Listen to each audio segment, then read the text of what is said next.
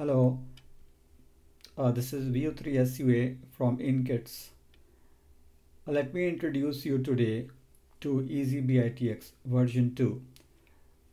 This is our new transceiver kit which can be operated on and built on 40 meters, 20 meters and 80 meters. So basically we have uh, two type of uh, kits. Uh, one is uh, through hole kit, which you have to assemble. Uh, like uh, this one we have out here. This is a PCB. Okay, so the PCB is in basically two parts.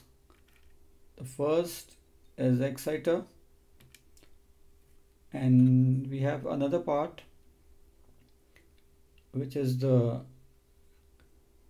DDS part and it also has the audio amplifier mounted on this board itself. So we have the DDS and audio amp board both on a single front panel. So this front panel mounted on the main exciter board.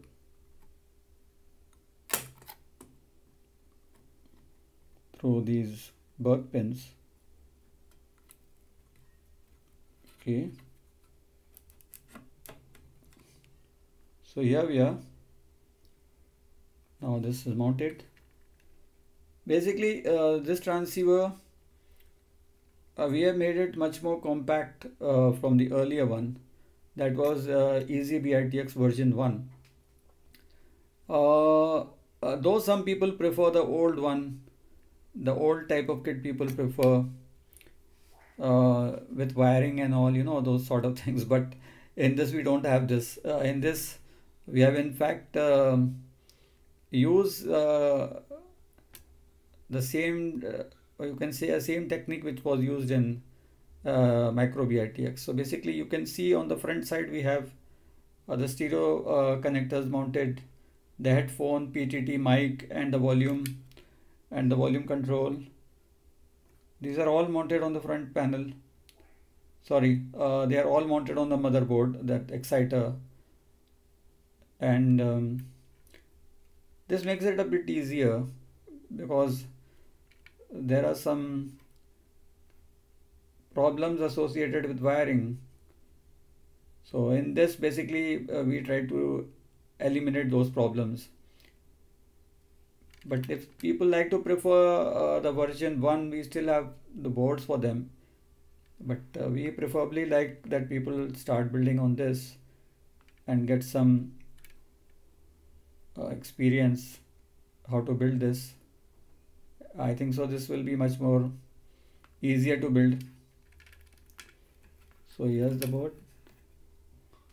Complete board. Okay. Only two boards.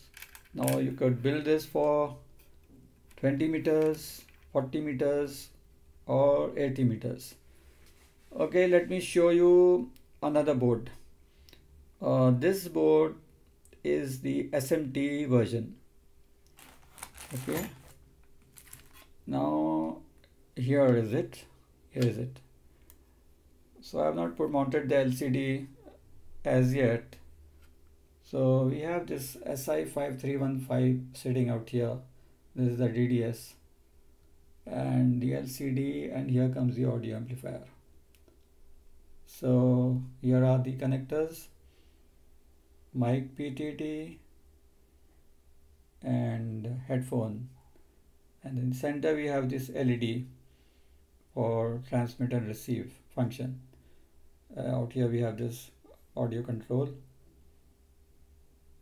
and uh, this connector is for the speaker. So uh, let me show you. Let's take this off. Okay. We take this board out. Now we have this board so you may see that some components I have not mounted as yet. Maybe this TL071 is missing out here. I had taken it out. So uh, can see that it is uh, made in such a way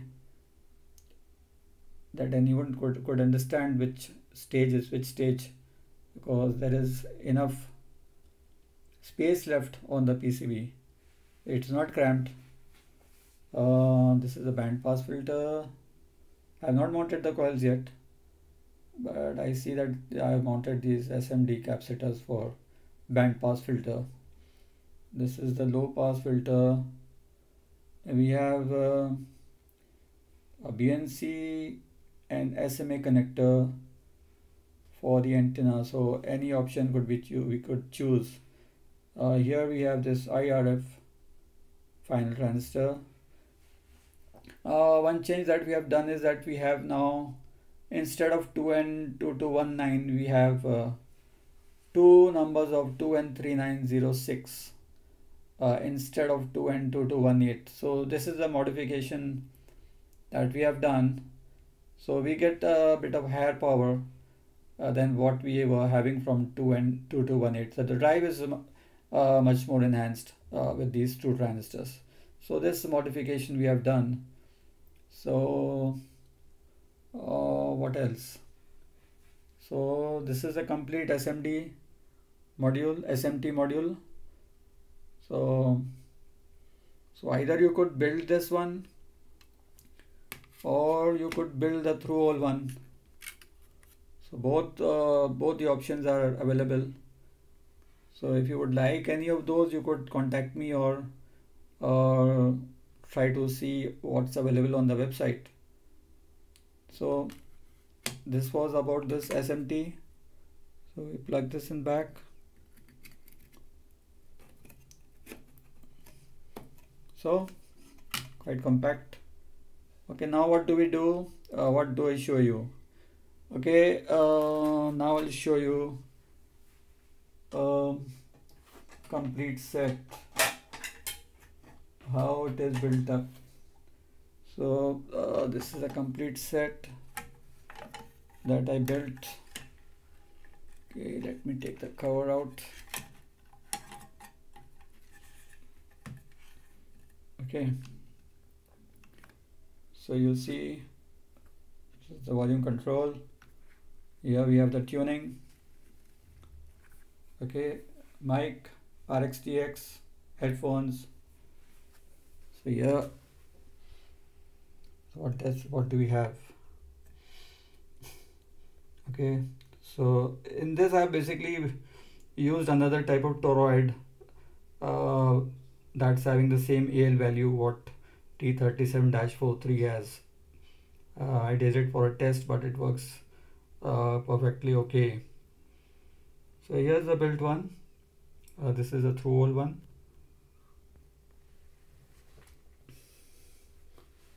Uh, out here if you're a bit confused that why do we have this three connections for supply power supply? So let me turn this first. Okay. I'll just turn this around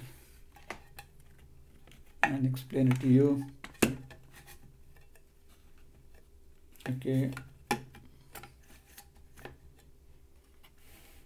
here we come okay. So we have 12 volts and 24 volts. What does that mean?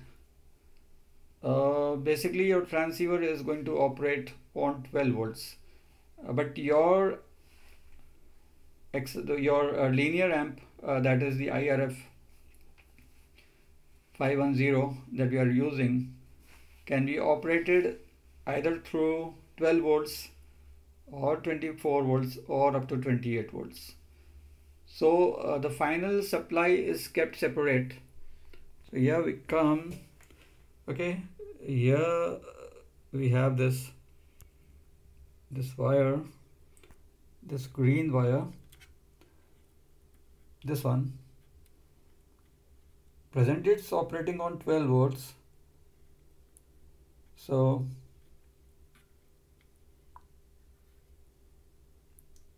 so we have it connected to the switch it is giving which is giving 12 volts. Okay. Now if we want to operate this on 24 volts so we take this wire out and we can use this connector this 24 volts connector and uh, give the supply uh, give the supply here. So this will be your 20 so you would require a transformer of uh, that has two voltages 12 volts and 24 volts.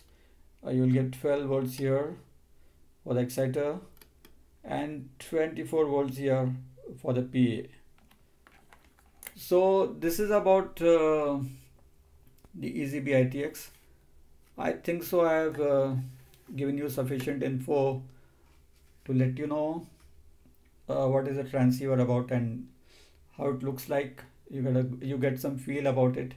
We have a 3 uh, inch speaker uh, that gives sufficient audio. So I hope I have uh, done this video to give you some explanation uh, as for a EZB ITX kit so thank you and best of 73s. Uh, we'll come back with some more videos on EasyBITX and our other kits. Thank you and 73s.